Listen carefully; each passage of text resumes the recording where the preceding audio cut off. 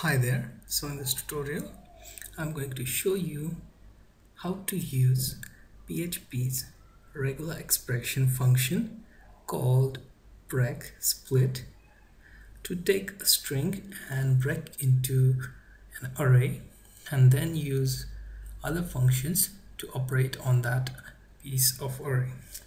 So the reason we use preg split is because there are times when you need data broken down into array and that way you can operate on some of the specific words and filter them out.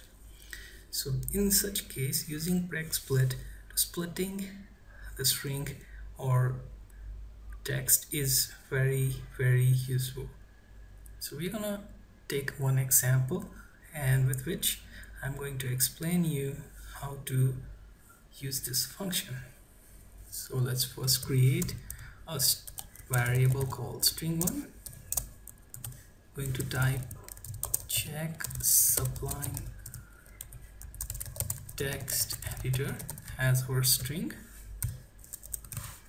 Now I'm going to type string one underscore array and this variable will use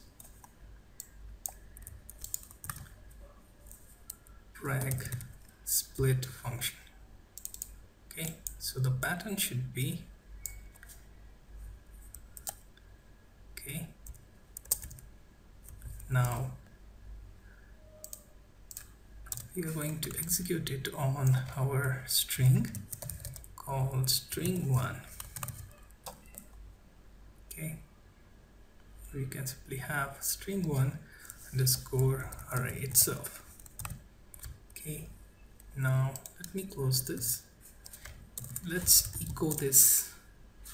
Or you can simply use print r and give it our string array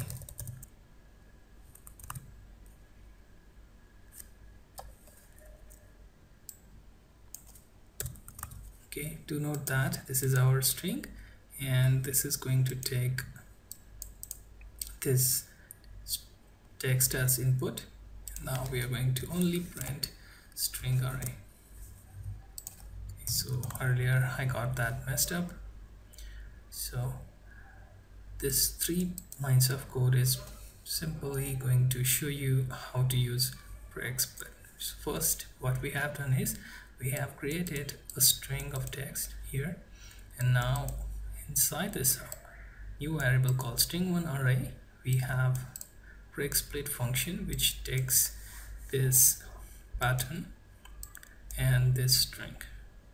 It will split each word such as check sublime text editor into array 0 array 1 2 and 3 as its index positions so let me execute this one. Okay. So as I said array zero's position check then one's position sublime then second is text third is editor. So this is how we have separated this string. You can even go for bigger one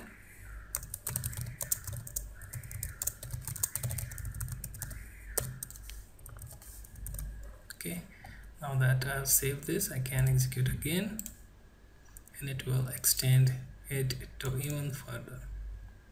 Okay so let me go through the program again. We have created one string.